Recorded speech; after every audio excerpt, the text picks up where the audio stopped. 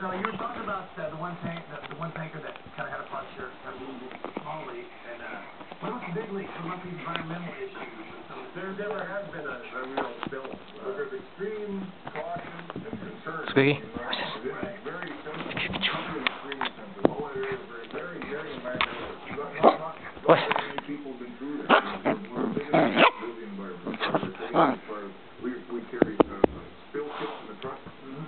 security boom, security home. Yeah, we do. Everybody has to go through orientation. If you're stuck in the hole, you have to tell us, right? That is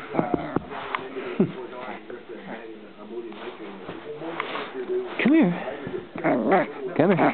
Come here. Squiggy.